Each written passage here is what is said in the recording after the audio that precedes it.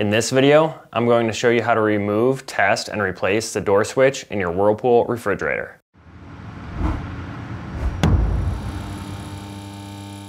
If a door switch fails, it may cause the lights to not turn on, the ice maker or water dispenser to turn off, or it may cause the refrigerator not to cool. If you need to buy a new door switch, check out our website, partsdoctor.com, where we sell parts for all major appliance brands.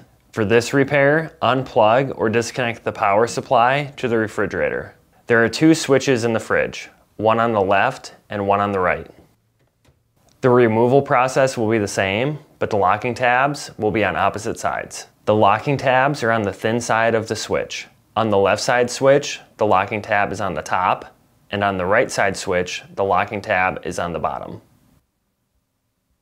If you are concerned about scratching the fridge lining, you can apply a small piece of tape near the locking tab. To remove, insert a thin tool between the switch and compartment liner to depress the locking tab and rotate the switch out.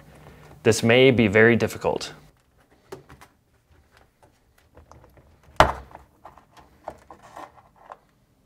Now, disconnect the electrical connector. The door switch has three wire terminals. They are labeled common, normally open, and normally closed. To test the switch, turn your multimeter to the continuity setting. With the switch not depressed, touch one probe to the common terminal and the other probe between the normally open and normally closed terminals.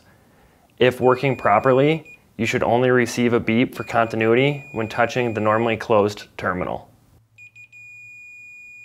With the switch depressed, touch one probe to the common terminal and the other between the normally open and normally closed terminals. If working properly, you should only receive a beep for continuity when touching the normally open terminal. When shopping for a new door switch, be sure you're searching with the model number from the tag on your appliance to make sure you get the correct part. To install the switch, first reconnect the electrical connector by aligning and pushing until it seats back in place. Then, tuck the wires into the opening, position the switch so it closes properly when the door is shut, and press the switch in until it snaps back in place. You may find this slightly difficult. That's it for this video. If you learned something new, hit that like button. And if you enjoy fixing things and want to see more videos like this and these, please consider subscribing.